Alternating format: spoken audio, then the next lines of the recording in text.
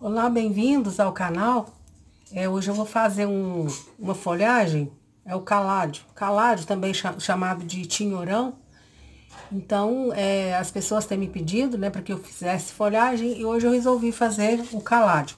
Eu vou fazer, assim, de duas cores, porque tem caládio de várias cores, mas de várias cores mesmo. Então, aqui é só duas sugestões, não quer dizer que todo caládio seja assim. Então, eu vou fazer um maior, eu tô fazendo assim, dois bem simples, mas são muito bonitos, principalmente esse maior aqui, ó. Então, é muito simples, ó, a folha é essa. Vou fazer esse aqui grande, um outro assim bem pequeno aqui, só para demonstração mesmo. Uma das características do caládio é que as folhas dele são assim, em forma de, de coração, né? Sempre assim, ó. Então, eu vou fazer dois. Esse aqui é mais simples, mas eu gostei muito do resultado. Eu vou usar tinta PVA branca, ó. Um pincel assim, ó. Pincel com a cerda assim, um pouco mais firmes. Assim, podado, ó. Bem curto aqui, ó. Pra fazer um traço preciso. Então, eu vou iniciar a pintura aqui, ó. Esse aqui vai ser pintado só com branco, ó. Então, eu já vou, eu vou pegar aqui do meio pro centro, aqui pra essa beiradinha aqui, ó. E vou fazer isso aqui, ó. Vou traçar um risco assim, ó. Isso. Agora, eu vou, eu vou fazer isso aqui, ó.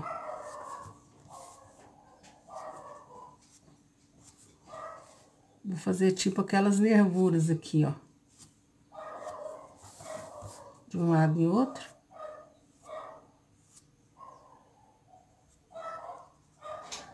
Agora, eu vou traçar um outro risco aqui no meio com branco, ó reto assim, ó. Agora eu vou dar uma leve esfumadinha nele assim, ó. Nessa aqui do centro. Pra não ficar aquele risco muito assim, marcado. Só dá uma esmaecida assim. Agora eu vou, eu vou fazer também aqui dos lados aqui, ó. Tipo as nervuras da folha aqui, ó. Eu vou acompanhando a folha assim, ó.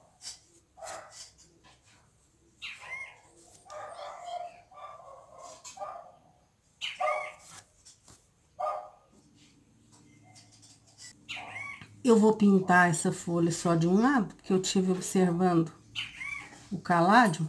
Ele não, ele não é assim, dos dois lados assim, não. É só de um lado. Pode aparecer assim a sombra do outro lado, porque a folha é fina, né? Mas não é assim dos dois lados, não, ó. Então, ficou assim a folha, ó. Agora, eu vou aramar. Eu vou usar aqui um arame recozido, ele já é escurinho assim mesmo, ó. Então, a parte que eu vou colar aqui na folha, eu já vou deixar só com arame mesmo, porque isso aqui não vai aparecer, ninguém vai ficar olhando aqui por baixo da folha, né? Se eu for passar fita floral aqui, ele não vai aderir bem aqui, né? Então, eu peguei o arame, vou deixar ele desse jeito aqui mesmo, ó, na parte que vai ser colado aqui, enquanto ele, é, enquanto ele seca um pouquinho, pra gente colocar o arame, eu vou ensinar como que eu pintei esse outro tinhorão aqui, esse outro caládio.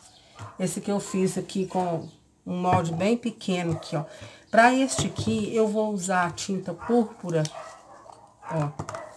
Aí, eu vou pintar aqui no meio, assim, ó. vou fazer o movimento da folha aqui, assim, vou deixar um pouco das bordas aqui verde, né, da cor da folha mesmo, da cor do, do EVA aqui, ó.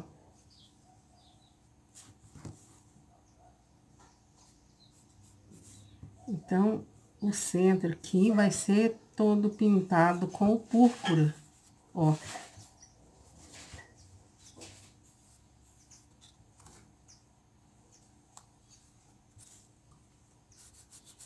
Vou deixar as bordas verdes por enquanto.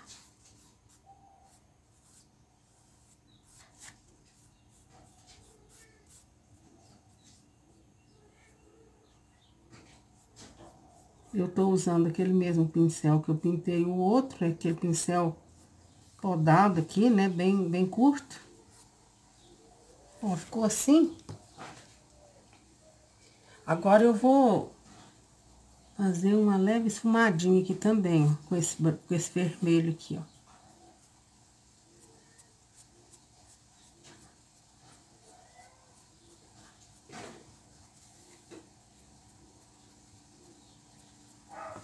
Essa forma.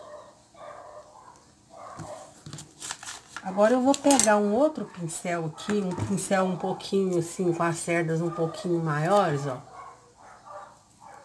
E eu vou pegar o branco aqui, ó, vou tirar um pouco, do excesso aqui no jornal, bater um pouco aqui. E eu vou fazer batidinhas aqui nas bordas aqui, assim, ó. Entrando um pouquinho aqui em cima deste vermelho aqui, ó, por enquanto. Ó, a ideia é até pegar um pouco da umidade desse vermelho aqui, ó, pra mesclar. Com a mão bem leve, assim, ó, pra não ficar muito marcado, não pode calcar a mão. Aí, vamos fazendo batidinhas assim, ó.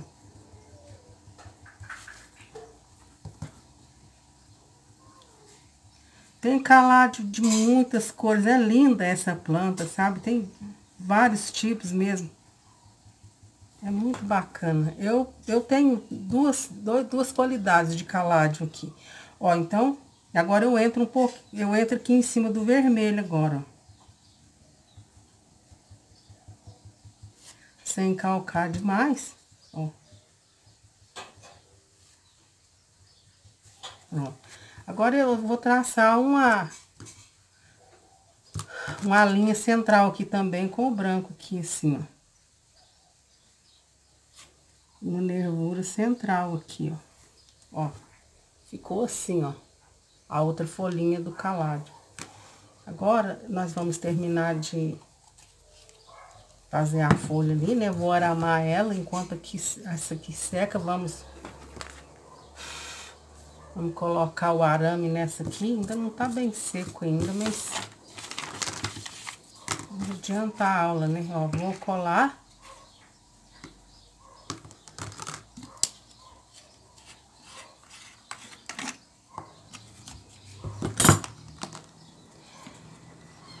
Ah, uma coisa que quero perguntar para vocês, o que, é que vocês acham? Vídeo todos os dias ou um dia sim, um dia não? Eu acho que mandar vídeos todos os dias, às vezes alguém de vocês não vão ter tempo de assistir, né, os vídeos. Então, o que, é que vocês acham? Todos os dias ou dia sim, dia não, para dar tempo de ver todos? Quero que vocês deixem aí nos comentários o que vocês preferem.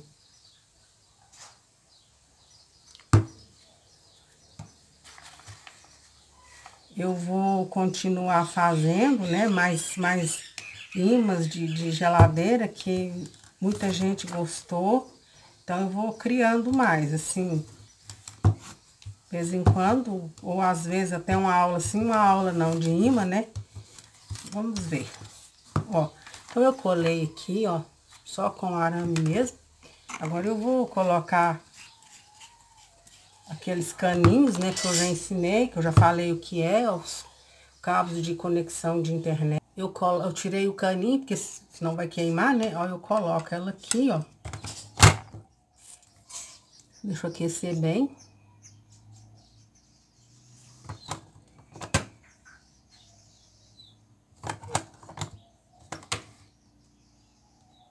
Ó, ela já deu aquela virada aqui por si, ó.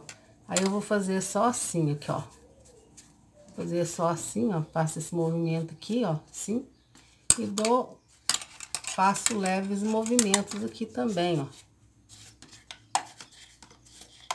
Ó. Então, ela já ficou com um pouco de movimento, ó.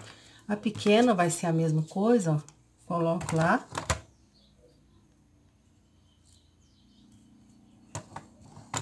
Ó, ela já deu aquele boleado por si. Aí eu faço assim, ó, também, ó, ó. Só seguro assim, ó. Aí faço isso também, ó. Leves movimentos, ó. Olha, ficou assim. Agora sim eu posso colocar o arame, né, e finalizar. Colocar o caninho aqui.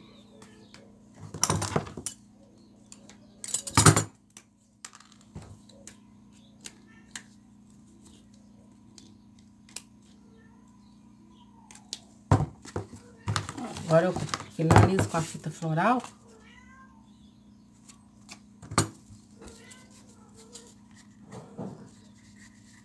Eu começo enrolando aqui embaixo aqui, porque ela é um pouquinho mais complicada. Agora eu subo aqui, ó, até aqui em cima aqui, ó. Pra dar um bom acabamento. E vou enrolando agora a fita.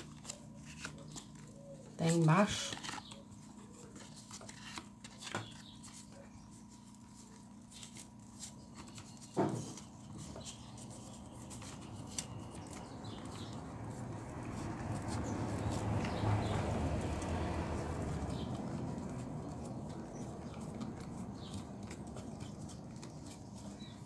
Eu vou fazer o acabamento dessa aqui também, vou colocar o arame.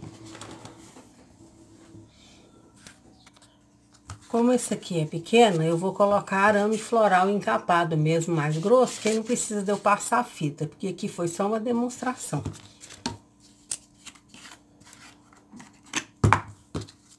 Eu vou colar o arame aqui também.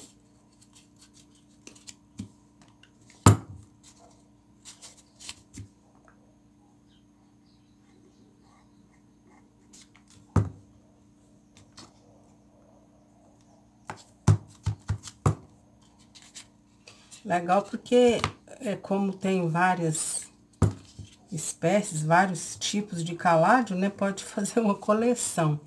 Ó, então, ficou assim. Agora eu vou colocar aqui no vaso para vocês verem como ficou. Ó, então eu vou pegar, colocar o maior aqui, ó, como que ficou, que bacana, ó.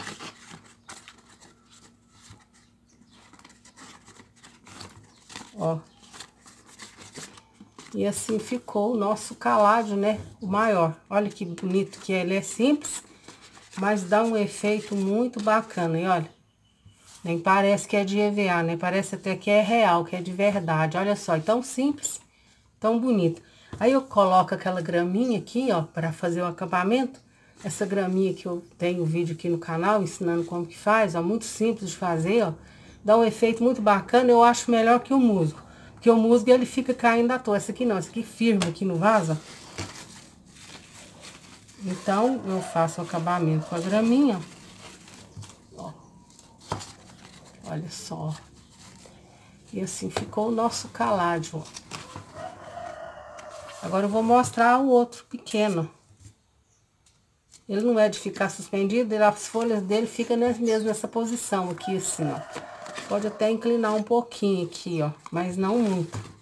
Ele é mesmo de ficar mais assim, nessa posição. Agora, ó, o pequeno ficou assim, ó. Aqui também, ó, como é que ficou bacana, que deu uma vista legal também aí, ó.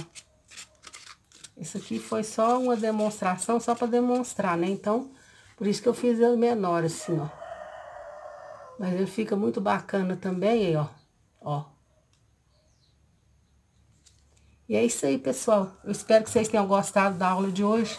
Quem gostou, dá um joinha. Quem tá chegando agora não é inscrito. Se gostou, se inscreva. Clica no sininho para ativar notificações, para não perder nenhuma postagem. E deixa aí nos comentários se vocês querem vídeo todos os dias ou um dia sim, um dia não, para dar tempo de vocês assistirem todos. Deixa aí nos comentários de vocês. sou muito grata a todos vocês que gostam do meu trabalho vocês que estão sempre por aqui me prestigiando com a audiência de vocês. Muito obrigada a todos vocês que curtem, que compartilham. E grata a todos vocês. Ah, é, sou grata também aos que criticam, que dá dislike, né? Tudo faz o canal crescer. É, eu, eu sigo muito um ditado assim, falem bem, falem mal, mas falem de mim, né? O importante é falar. Falem bem, falem mal, mas falem. Que tem gente que faz comentários ó, só mesmo para debochar mesmo, para destruir. Então, mas eu sou grata a todos, mesmo assim. É, e muito obrigado, viu, a todos vocês. Um abraço. Até a próxima. Fiquem bem, fiquem em paz. Tchau.